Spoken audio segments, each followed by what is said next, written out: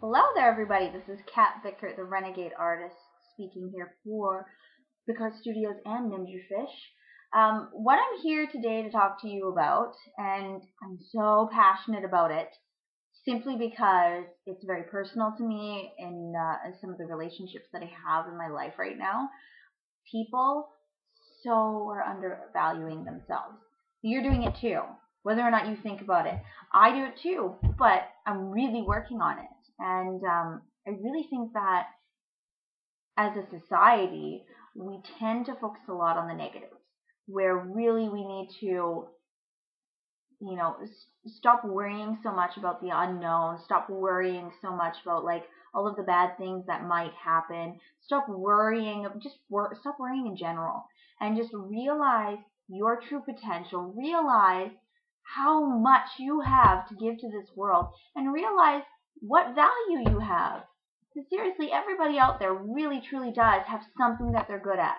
And whether or not you know what it is, you probably do. You probably know that, well, like me, some people are good at singing, some people are good at art, some people are good at reading, some people are good at research, some people are good on the internet and finding certain things. You know, it, the list goes on and on. Some people are good with their hands, right?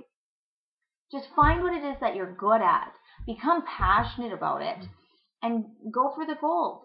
And if you've been working really hard over the years and you've put your time and energy into something, realize how much work you've put in and realize that you've come from such a place where you didn't know very much and now you know a lot.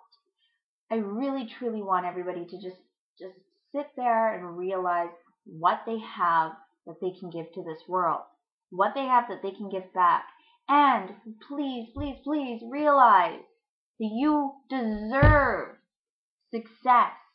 You have earned it. And all you need to do is simply apply yourself.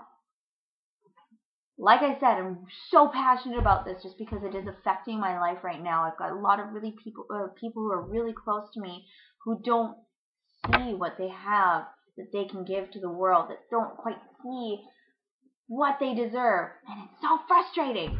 So get out there and realize what you deserve and take it. It's out there. Go get it. Come on. This is Kat Bickert, the Renegade Artist, signing out.